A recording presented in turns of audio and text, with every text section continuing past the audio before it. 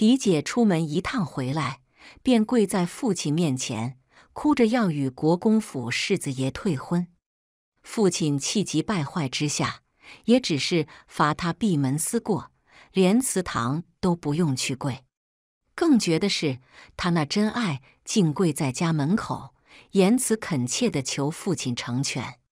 父亲要让人打断那男子的腿，狄姐拿着匕首横在自己脖子上。威胁父亲敢伤害他的真爱，他就自尽。嫡母看着他脖子上的血痕，心疼的差点晕厥，说他娘家哥哥最疼这个外甥女。若狄姐有个三长两短。总而言之，他在威胁父亲，也在提醒父亲，他娘家大哥又升官，以后还得靠人家提携的事情。父亲一张脸气得发紫，最终深深叹息，把人给请进来。前脚把狄姐的真爱换进来，后脚国公府管事便来退婚。当着众人的面，国公府管家狠狠扇了父亲两耳光，沉声说了两个字：“退婚。”摔碎当初订婚时特意请匠人雕刻的信物。国公府管家离开后，父亲双眸赤红，浑身发抖。他或许瞬间清醒，得罪国公府的后果，他一个小小的从四品内阁翰林学士承受不住。那般关系错综复杂的庞然大物，人家前来退婚，扇他两个耳光，他连吭都不敢吭一声。嫡母惨白了脸。狄姐吓得缩在他身后，他的真爱义正辞严：“国公府怎么可以仗势欺人？”父亲看着他没有说话，扫向嫡母，狄姐也没说话，又看向我和另外几个庶女，眸光落在我身上时，忽地亮起来。他似乎恍然间才知道，他还有一个容貌出色、体态婀娜的庶女。我瞬间读懂了他的心思和打算，嫡女不愿意，但可以送个庶女去赔罪，死与活他不在意，只要能让国公府消气就行。无知又无耻，当初国公府为什么会来提亲？他们似乎忘记了，天上掉的馅饼，他们没接住，还摔进屎坑里，捡不起来，咽不下去，还嫌臭。他看向我，你跟我来书房，连我叫什么都不知道，实在是可笑。至于狄姐和他的真爱，也被他抛之脑后，糊涂的让我怀疑他当初是怎么考上功名，一步一步升官至从四品。他并未让我直接进书房，而是与管家嘀咕几句才让我进去。我听着好像是问管家我叫什么。在家中行几，怡儿啊，他想了好一会，才夸了句：“你这名字取得好。”好在哪里？他说不出来。他的脑子早已被升官发财腐蚀，文韬武略可能已经忘干净。父亲有何吩咐？他看着我，肿着的脸格外滑稽，说出口的话更让人啼笑皆非。为父如今。能依靠的也就只有你了。我沉默不语。我一点不想管他以及刘家这个烂摊子，可我偏偏陷在这个泥潭之中，甩不掉这一身污垢。嫁人是我唯一的出路。狄姐看不上世子爷断腿不举，我看得上。只要他能满足我提的条件，我甚至可以治好他。我没有告诉任何人。我会医术，所有人都不知道，在乡下庄子上，我跟人学医术，女扮男装出去给人治病。我见识过不同于后宅的天地，我一直在等待一个机会，光明正大的走出去。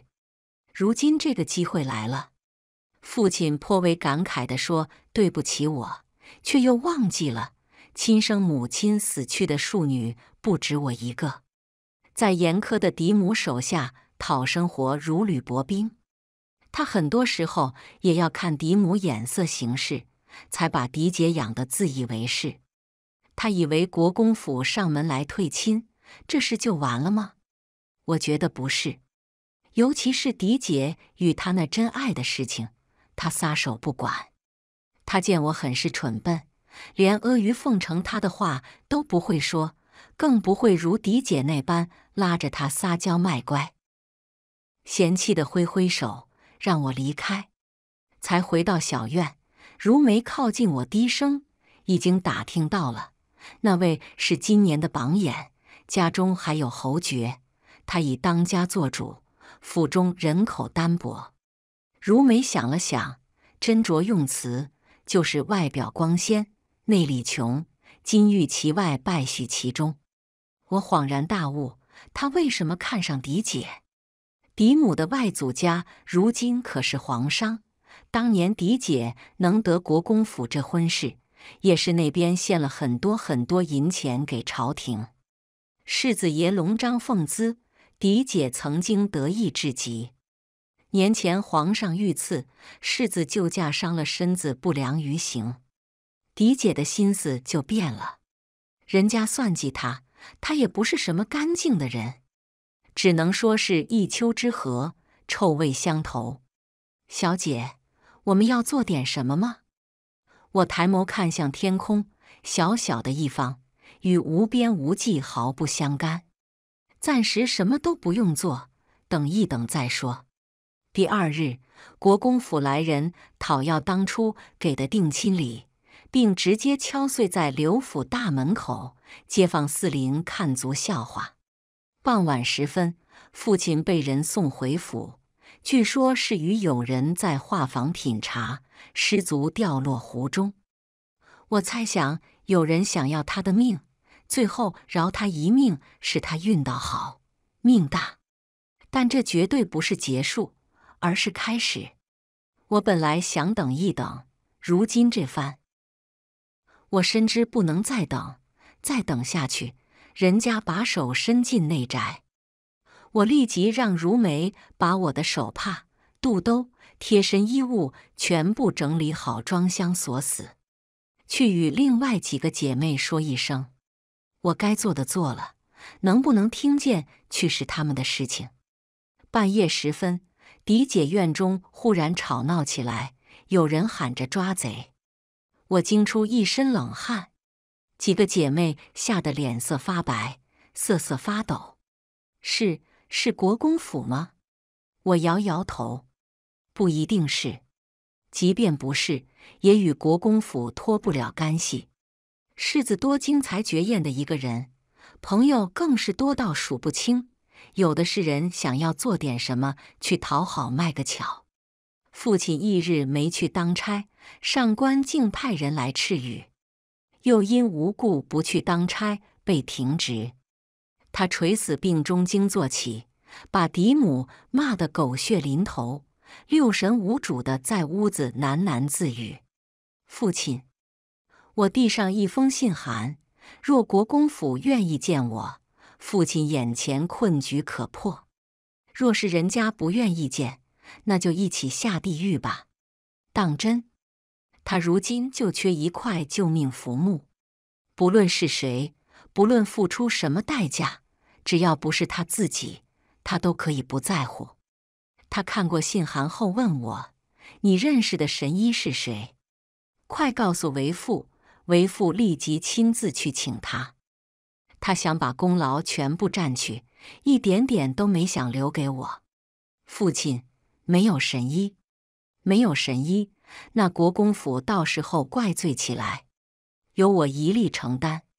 他打量着我，想将我看穿，更在掂量我价值几何，值不值得他去冒这个险。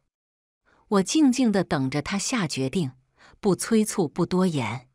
如果大厦将倾。为了活着，我可以舍弃一切，他不能，所以他派人去国公府送信。国公府管家来得很快，驾驶着国公府标识的马车和护卫队，他恭恭敬敬请我上马车。马车内坐着世子爷秦文玉，如梅被管家拦住：“小姐。”他瞧见了马车内的人，急切喊出声。我朝他微微摇头，慢慢落座。他们胜在有权有势，胜在底蕴深厚，胜在秦文玉是男子。可我也有拿捏他们的资本，所以这一场较量，谁输谁赢，不到最后谁也不知晓。刘六小姐，单名一个姨，生母早逝，年十六，未曾定下亲事。秦文玉声音淡淡说着我的过往，忽的话锋一转，国公府的探尉该好好训一训了，竟未查到六小姐会医术。我只是好奇，六小姐当初为什么不站出来接皇榜？是嫌皇上许诺的不够多吗？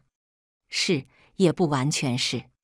我看着秦文玉，即便虎落平阳，风采依旧，甚至比起当初的肆意张扬，多了稳重内敛。我想他只是断腿了，不举了，并未意志消沉，怨天尤人。那时候你与我没有任何关系，你未来姐夫也不算。他挑眉问：“刘宝叔以欺辱打压庶女为乐，他曾大雪天让我去池子里捞他丢下去的手帕，让人把我丢到枯井里玩活埋游戏，故意抓花我的脸，又往药里放了烂脸的毒物。”我轻轻歪头，以平淡又温和的声音问他：“您觉得？”我可不可以恨他？我该不该记仇？能不能报复他？毁掉他在意的一切？秦文玉不语。你是他未来夫君，是他炫耀的资本，所以我不会出手，更不会让别人知晓我会医术。即便被你们知晓，我宁愿死，也不会出手让他如愿。有些怨恨没有树枝出口。并不代表它不存在。我没有去报复，只因为我自保的能力不够。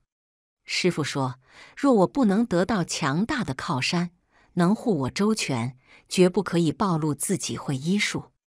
匹夫无罪，怀璧其罪。有些本事也可能是催命符。秦文玉默默地拿起杯子，倒了茶，推我面前。六小姐喝茶，多谢。马车慢慢悠悠行驶，不知道会去往何方。我也不知晓自己还能不能回到刘府。秦文玉有足够的本钱将我关起来，从此泯灭于人世间，无人知道我，无人记得我。六小姐想要什么呢？我想要钱，很多很多的钱。我想要自由，谁也不能主宰我生死。不能让我嫁阿猫，不能嫁阿狗，用道德绑缚我，在家从父，出嫁从夫。秦文玉轻笑出声，一本正经又问：“还有呢？来刘家提亲，给多多的聘礼，为我要丰厚的嫁妆。等我替你解毒后，咱们和离，对外宣称不许我改嫁，暗中照拂我一二。若是你愿意。”让刘家、温家、楚家倒大霉吧，以德报怨，那不是我刘姨会做的事情。不是不报，时候未到。一旦有机会，我也可以六亲不认。六小姐的条件我都可以应下，只是……秦文玉伸手捏住我的下巴，声音犹如玉珠落在盘中，清脆却没有温度。六小姐若不能兑现承诺，医治好我，又该如何偿还我的付出？她手指冰凉，捏得我下巴有些疼。我忍不住打了颤。若不能治好世子，届时任凭世子处置。空口无凭。他说着收回手，手指轻轻摩挲着。难道是嫌我不干净？我立即补上一句。白纸黑字签字，画押为证。君子一言，驷马难追。秦文玉笑着颔首，如此成交。马车在京城转了一圈，我被送回刘府，如眉眸中都是担忧。狄姐站在二门处，冷吃着挖苦。癞蛤蟆想吃天鹅肉，也不撒泡尿照照自己什么德行。就你这上不得台面的样子，给秦文玉提鞋都不配。你那只配给人家捧夜壶。他见我不言语，又道：“不过是我不要的摊子罢了。”我很想告诉他，就他这副嘴脸，即便秦文玉真的瘫痪，他也配不上人家。所有人都没想到，国公府退了婚事，隔了几日，再次请了病人上门。还是名不见经传的庶出小姐，父亲喜笑颜开的应下，却在得知要巨额嫁妆的情况下，看向黑脸如锅的嫡母。嫡母当然不愿意，但她的娘家、外祖家接连出事，她不给也得给，咬着牙写了嫁妆单子。国公府那边直接回说少了，天天补补，刚好是单子的五倍。嫡母气到吐血，将我唤过去，准备逞威风。我身边的丫鬟比她气势还足，一口一个奉太后口谕，奉皇上口谕。太后是秦文玉嫡亲姑姑，皇上秦文玉穿一条裤子长大，同生又共死过。一顶顶大帽子扣下来，嫡母屁不敢再放一个。嫁妆温家。楚家想来是出了大头，嫡姐来找了几次麻烦，都被秦文玉送来的两个丫鬟收拾得服服帖帖，没讨到一点便宜。几个庶出姐妹羡慕之余，旁敲侧击试探我能不能为他们相看相看。高门大户我没把握，中规中矩的人家你们不嫌弃，我可以为你们奔走一二，只要夫君人品好。又上进，婆母好相处就成。我没有告诉他们，如果我一直是国公府世子妃，他们的婆母应当不会随随便便搓磨他们。如果我不是了，那可真难说。出嫁的日子越来越近，嫡姐、嫡母想在嫁妆上动手脚，不是一次两次，都被秦文玉派来的人一一化解。又逼着嫡母添了些许，他也曾装病。国公府的人能干到有他没他都无所谓，依然把事情处理得井井有条。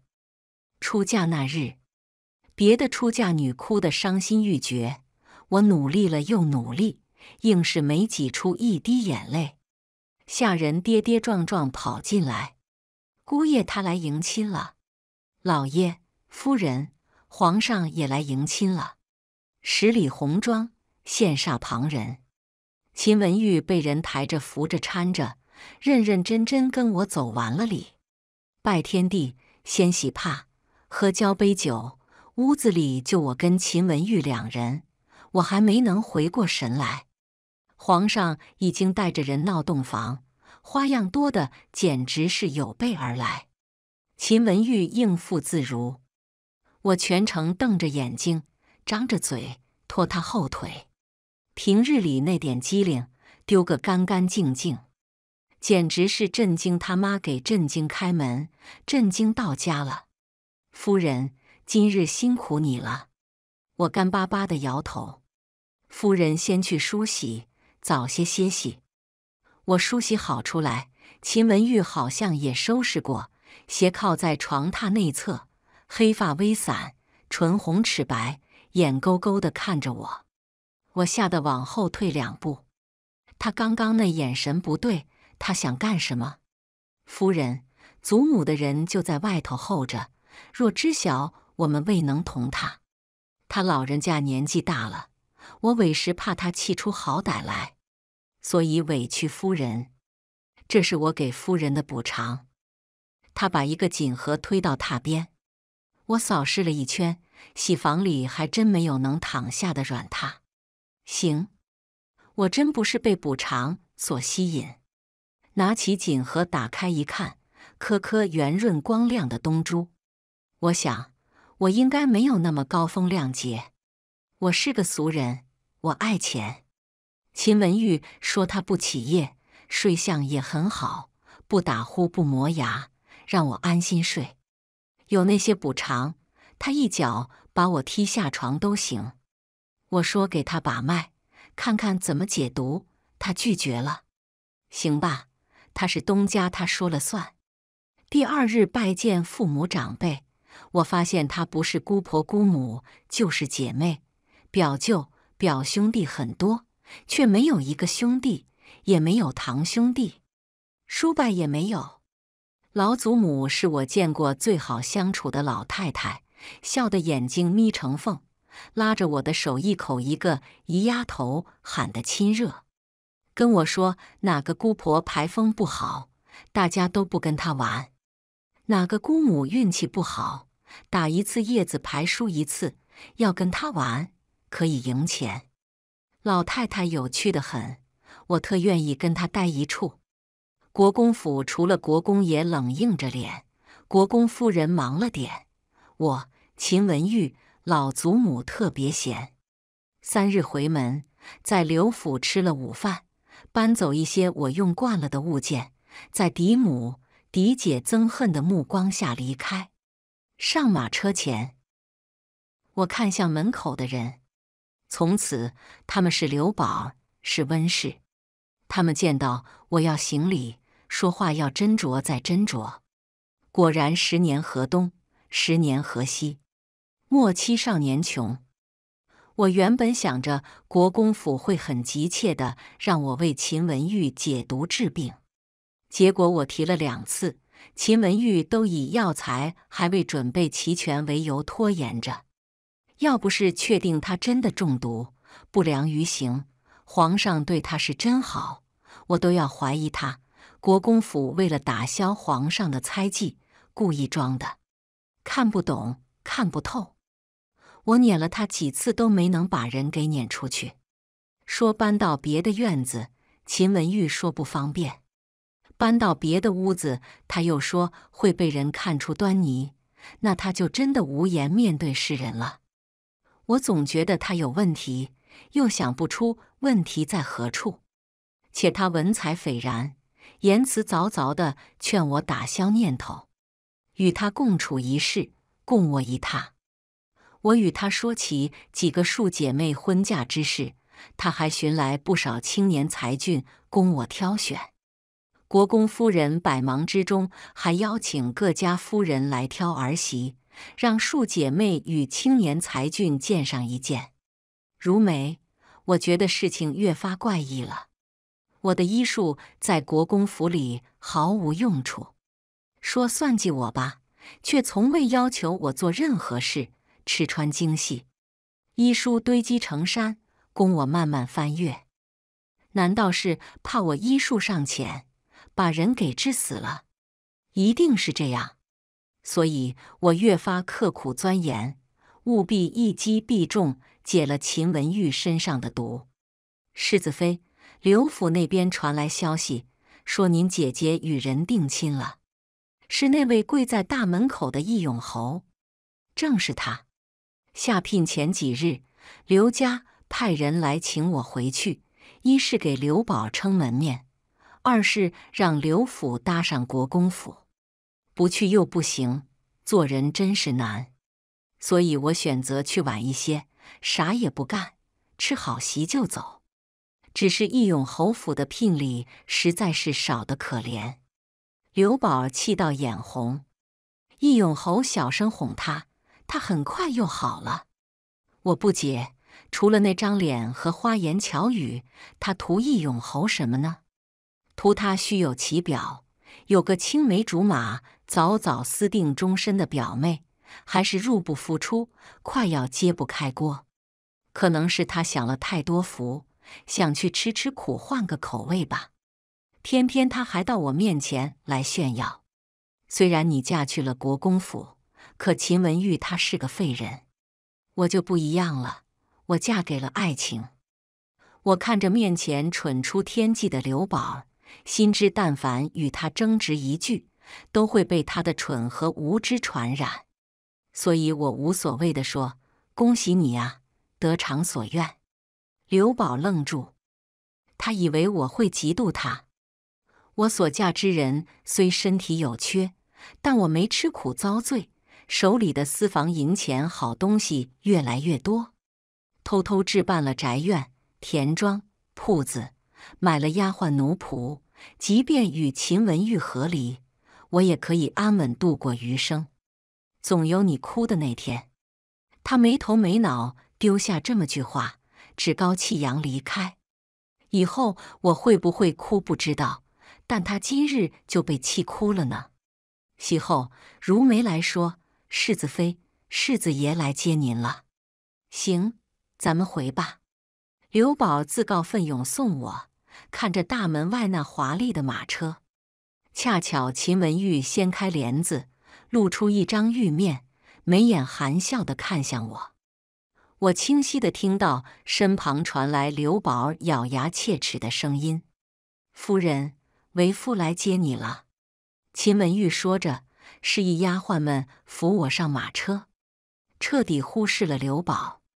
刘宝忽然说道：“秦文玉，你可知晓刘姨她是个小偷，他偷窃我的珠钗首饰，他，他。”没人看清楚秦文玉身边的小厮是如何将一巴掌扇在刘宝脸上的，速度之快，只觉得眼前有什么闪过，然后巴掌声传来，刘宝吃痛，羞辱的惊呼。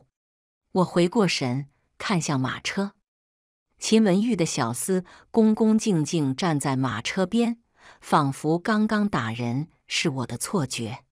世子妃，请。刘宝素来骄横，哪里吃过这样子的亏？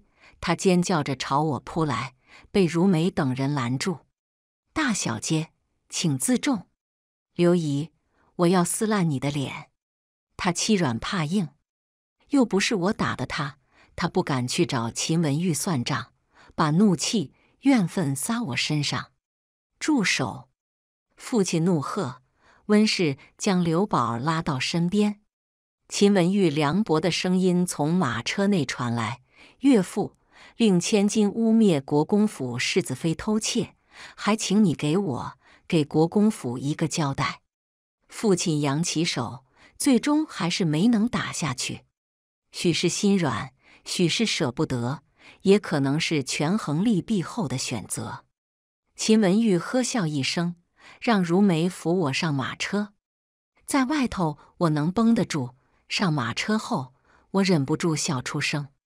义勇侯府来下聘，刘宝被扇巴掌，以后去了婆家人家会怎么看他？他自己把自己挖了一个坑，很开心。秦文玉压根不懂我为何笑得这般开怀，我自己却十分清楚。多谢世子爷为我做主撑腰，更要谢您相信我。当年刘宝污蔑我偷窃，我被罚在祠堂跪了三天。他怕我偷懒，派人盯着我，一旦我坐在蒲团上，就用鞭子抽我，跪得我腿都要断了。温氏怕我死在家里，坏了刘宝名声，借口将我送去庄子养病。祸西福所以，我在庄子上遇到师傅，过了几年舒坦安逸的日子。然后心也就野了，再也不愿回到后宅囚笼。世子爷，您的药材要准备好了吗？秦文玉沉默片刻，快了。他的快了，又过两个月还未有确切消息。我能自由出国公府，还能在外头宅子里住一晚，去庄子上小住几日，跟老御医学习医术。秦文玉很多时候被我抛之脑后，他也不恼，拿着书在一旁品读。我偶尔抬眸看去，男色或人，都忍不住被勾得心跳加速。在他看过来时，心虚的挪开视线，假装自己很努力。秋去冬来，寒风凛冽，我已经不太喜欢出府，整日窝在老祖母屋里。跟他老人家唠唠嗑，给他读读医书，一起听听戏，打打络子，将漂亮的珠子穿成串。听老祖母揶揄秦文玉，也格外好玩。刘宝如愿在年前嫁给他的真爱，天庄李国公夫人已准备好，比我随便翻找出来的贵重几十倍，真是便宜他了。刘宝上轿前哭得情真意切，温氏谆谆叮嘱。她出嫁后格外喜欢赴宴，不管香的臭的，只要有人给她发帖子，她从不拒绝。还带着她那几个小姑子和表妹，他们穿她的衣裳，带她的差事，用她的银子，把她当冤大头，却哄得她心花怒放，心甘情愿。真是个傻子！国公府腊月初十要办个小宴，国公夫人太忙，让我帮忙盯着些。我不会，是真不会。庶女根本没机会接触到钟馗，温氏更不会教我们怎么管家。不会没关系，让你母亲教。老祖母将我揽在怀中，慈爱道：“技多不压身，听祖母的。”我想了想。也是这个理，起身给国公夫人行礼，麻烦夫人了。一家人不说两家话，只要你愿意学，我定不藏私。我成了国公夫人的小尾巴，学如何管家。写请帖的时候，我把刘府、义勇侯府放在最后面。我一点不想邀请他们，可不请不行。世人说我不孝，可以。连累国公府，我过意不去。刘宝带着义勇侯府女眷来赴宴那天，他扶着婆母，他婆母穿着的布料饰物亦是他的嫁妆。他对他婆母嘘寒问暖，小心妥协，比丫鬟还细致。得了夸赞，他一副颇有成就感的样子。我错愕好一会，直呼长见识。这次小宴。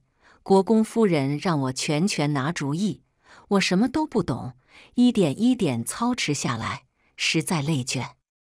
我歪坐在椅子上休息，喝着人参乌鸡汤。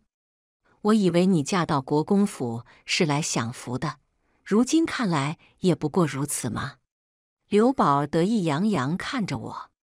我在侯府可不用做这些，那你做什么？我问他。和妹妹们读书写字、弹琴作画。侯爷说管家繁琐累人，他可舍不得我做这些庶务。他以为我会羡慕、嫉妒，真是蠢货呀！侯府用他的嫁妆养着一家子老小，迟早将他吃干喝尽。待他的嫁妆所剩无几，他离死亡也就不远了吧？我在他面前转了一圈。看见我身上穿的用得了吗？祖母、婆母、太后娘娘赏的，我的嫁妆如今一点没动，还多了许多呢。这般暗示他，要是不懂，活该被欺骗、被榨干。刘宝瞬间双眸怒红：“你个蠢东西！你以为他们为什么要给你这些？那是因为秦文玉不良于行，还不举。”我就不一样了。侯爷与我夜夜笙歌，我腹中指不定有他的骨血。你妈怕是要独守空闺一辈子，老来无依。我抹了一把自己的眼，就不该心生怜悯。他这种人，活该被欺骗蒙蔽，蠢，太蠢了。宴席后，国公夫人夸我很有管家天赋，让我好好学。等到明年就把国公府给我练练手，我可不敢接，忙摇头，直呼不敢。他笑着没说话，我总觉得他笑得高深莫测，让我头皮发麻。宫中年宴在大年二十八，太后招我到跟前，笑着夸了又夸，赏赐丰厚，引得不少人眼红。大年三十。我来到国公府第一次过年，收到好多压岁红包，也是第一次能上桌吃饭，真真正正过年宴。回到屋里，我一个一个慢慢拆，笑得浑身发抖。发财发财了！秦文玉将一个锦盒递给我，给夫人的压岁钱。我让他看桌子上厚厚的一沓银票，那些是长辈给的。这是作为夫君给的，意义不同。再者，药材都已寻到，明年为服这腿就麻烦夫人费心。如此，那我就却之不恭了。守岁的时候，秦文玉跟我说起他曾经的理想抱负。我问他：“当初你想娶刘宝吗？皇上初登基，国库空虚，我若不站出来，刘宝便会进宫。皇上与皇后娘娘情比金坚，岂能让这种人搅和进去？牺牲小我，成全大爱。我佩服秦文玉，也同情他的遭遇。外头传来鞭炮声，我看向秦文玉。”世子爷，新年好！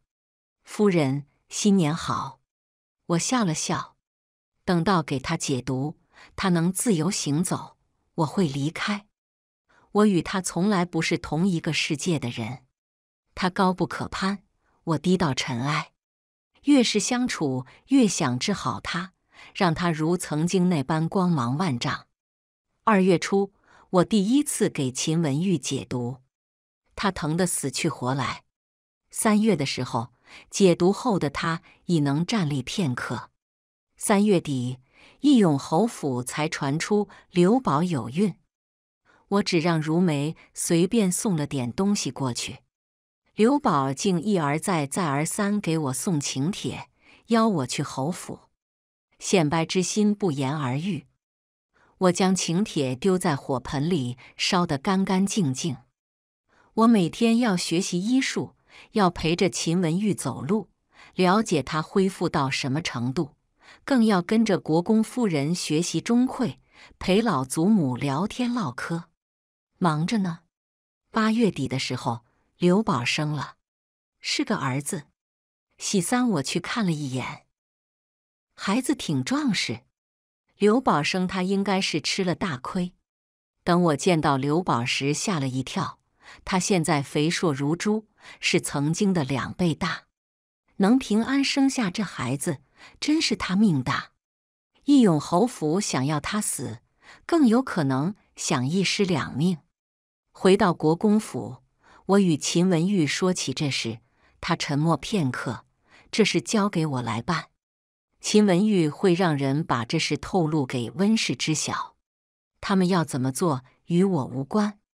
刘宝孩子满月那日，他抱着儿子到我面前来炫耀。世子妃比我还早出嫁几个月，不知什么时候能为国公府开枝散叶。我皮笑肉不笑地盯着他。侯夫人一个劲地往我心窝子上戳，想来是没拿我当姐妹。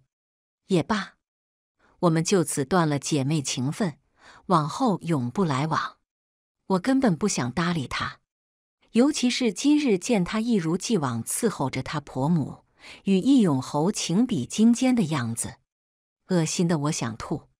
他自己撞上来，我不趁机断绝关系，就是我蠢了。秦文玉早已能行走自如，慢慢养着，明年就能继续练武。当初承诺为他解毒，等他康复后合离，我也该离开，去见识更广阔的天地。当真要和离吗？我们当初说好的。秦文玉看向我，就没有假戏真做的可能。我没有任何不良嗜好，房中亦无妾室通房。我不能保证以后会如何，但是此刻我是真心想留你。我沉默了，良久，说对秦文玉说：“世子爷，我一直觉得女子的一生。”不应该就只是嫁人生子，为夫君操持打理后宅，教养庶出子女。我见过外面的世界，我做过自由自在的人，我割舍不掉那样的向往和期许。我想做一些有意义的事情。当初会找上你，一是想给自己找个靠山，二也是想验证一下自己的医术。这一年多来，谢谢您的照顾。秦文玉想来是明白我这个人，表面瞧着温柔似水，其实格外固执。祖母那边呢？你打算怎么跟他说？实话实说，如今你身子康健，想娶什么样的高门贵女都可以。他老人家不是固执之人。老祖母得知我要离去时，瞬间红了眼眶。他没有哭着强留我，只说先不和离，我在外头去小住些时日，做自己想做的事情。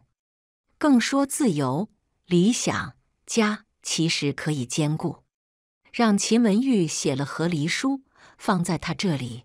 一年半载后，我还是执意和离，他就把和离书给我。只一点要常回来看他，他也会经常去找我。好，我听祖母的。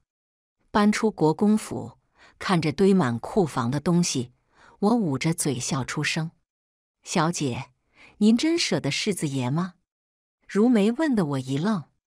那般风采绝绝、龙章凤姿的公子，谁能舍得呢？且他本身也是个很好很好的人，待我也不错。同床共枕两载，人非草木，孰能无情？但我们不是一个世界的人。刘宝的遭遇让我心生惶恐害怕。若是他们要对我出手，别说反击，连自保的资格都没有。总得有些属于自己的人，有自己的底气。我给了自己一年，一年后，秦文玉身边还未有别的女子。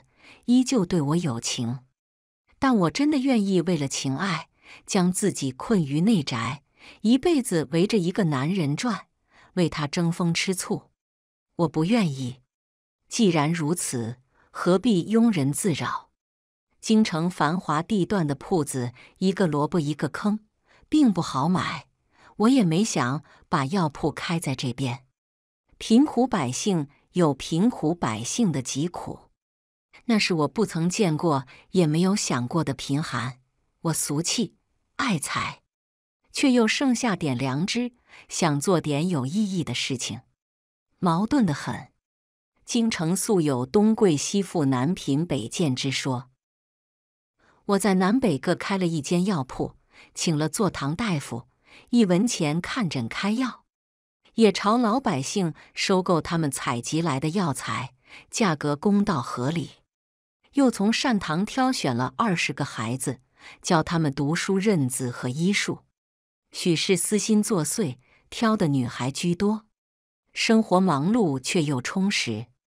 除了秦文玉隔三差五来坐一坐，偶尔还歇在我这边。他待我与之前并无差别，对于我的任何决定都很支持，也给了不少帮助。他与我说，皇后娘娘生了个小公主，皇上娘娘肯定高兴极了。已有三个皇子，千盼万盼，总算有了小公主。皇上当场就赐了封号。别人的父亲真好。秦文玉忽地握住我的手，怡儿，我们当真没有可能了吗？即便你是国公府世子妃。依旧可以做你如今的事情，没有人会将你拘于内宅。你不想做的事情，没有人会逼你去做。管家可以有丫鬟、婆子，孩子可以放在母亲身边。那你呢，秦文玉？你呢？我问他。若是将来你厌恶了我，我会放你自由。天大地大，我没想过四海为家。我只是想要不曾得到过的自由，可真正得到，觉得也不过如此，星空落落的。这一刻，倒是忽然落了地。原来我也只是个俗人，被红尘情爱牵绊了。回国公府那天，老祖母与我说：“自由并不是行走在外，更不是说在内宅就被困住了。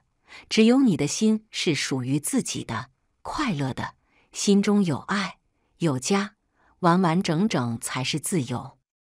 我们身为女子，想要在人世间单独行走难。有时候身份会带来很多便利，你也能帮助到更多人。我就喜欢你这心性。要是年轻个几十年，咱们约个伴，风风火火去干一场。秦文玉忙喊：“祖母！”孙儿好不容易把人哄回来，您可别又给哄走了。瞧瞧，瞧瞧这急眼的样子，真是让我这老婆子开眼了。老祖母又哄我说：“丫头，以后你们好好过日子。他要是待你不好，你与我说，我定狠狠罚他。”回到国公府的日子，好像也没什么不同。婆母给我不少可用之人，她说不用事事我去做，知道个大概，掌握大致方向，让下人去做就行。也或许是公婆、祖母给了足够信任、宽容，丈夫给了足够的爱、支持，让我有了底气，也逐渐琢磨出另外一种生活方式。欢喜、快乐、洒脱，有身孕时，祖母、婆母说不要暴饮暴食，可少食多餐，不要让自己过于臃肿，行走不便，把孩子养得过大，难以生产。御医把脉，告知我怀双胎时，素来不管我如何行事的国公爷开口道：“你外头那些事，小事交给可信任之人。”大事让文玉去，派人与我知会一声也可。万事保重你自己，与腹中孩子为先。怀两个孩子，很多时候我很饿，硬是没有吃撑过一顿。我知好歹，更爱惜自己的性命和身体。生下孩子，真的又疼又委屈。我只想好好的饱餐一顿。秦文玉喂我喝汤。你就不想看看俩儿子？有祖母在，还轮不到我稀罕吧？也是，有祖母在，祖母后父亲、母亲、姑姑们，一时半会还真轮不到我们。他揉揉我的脸，眼眶微微发红，辛苦你了。我懂了，他不曾言说的爱，和风细雨，一点一点滋润我贫瘠的心。双月子后。我慢慢再次走出内宅，走出国公府，去做我觉得自由的事情。我的小徒弟从二十个长到了四十个，不单单是学医术，也学刺绣、厨艺、算账、管家。我不是所有人的师傅，我教不了他们别的。即便是医术，我也没有那么登峰造极，还口夸自己当是第一人。但我能请来技艺高超的人，教他们学别的。有秦文玉明里暗里的支持，保驾护航。皇后娘娘加入后，越发的如鱼得水。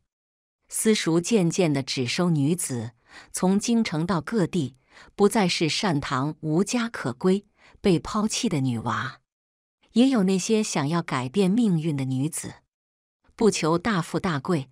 只求可以把日子过得好，更好，有家有爱是归宿，有理想有远方，有期许有希望，那应该是自由的一种吧。